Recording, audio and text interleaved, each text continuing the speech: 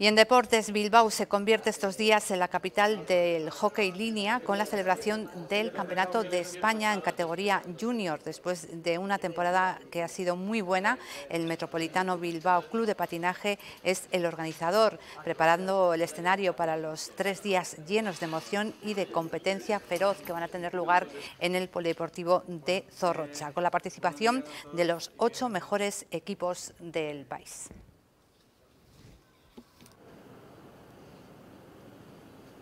Esto de aquí es vídeo, podéis hablar y podéis moveros.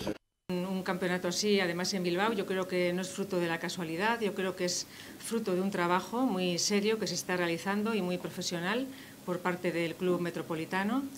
Eh, un, trabajo, eh, además, que tiene que ver con el desarrollo de la base, que es algo fundamental, de los niños y de las niñas, con el desarrollo del deporte femenino también.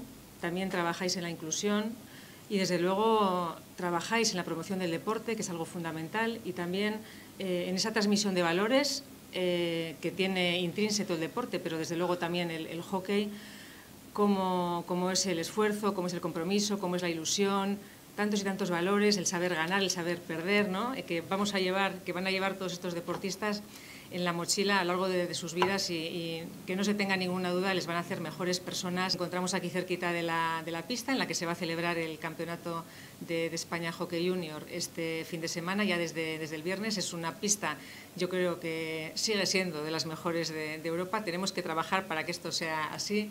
Eh, eh, es, una, es una pista en la que se ha jugado ni más ni menos que un campeonato del mundo, además en, 2000, en 2007.